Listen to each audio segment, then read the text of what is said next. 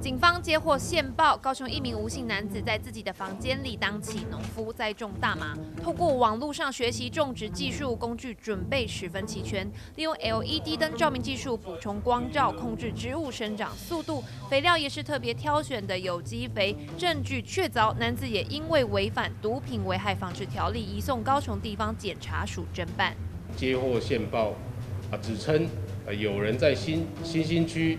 某住商混合大楼内种植大麻，啊，经报请台湾高雄地方检察署黄谷陈永胜检察官啊指挥侦办，啊，并持台湾高雄地方法院核发之搜索票啊前往查缉，啊，当场啊在屋内啊查获大麻植株与大麻成品等证物，啊，及时遏止大麻成品。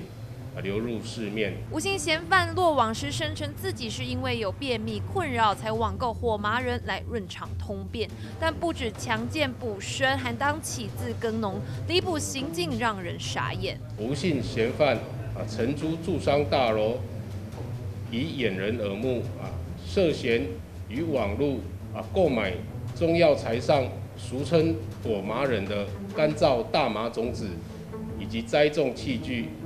并透过网络自学技术，啊，利用培养土啊进行土耕法啊栽种，啊成功栽种出大麻植株啊，为警方在搜索查获大麻植株哦及相关的专业栽种器具与设备啊，罪证确凿。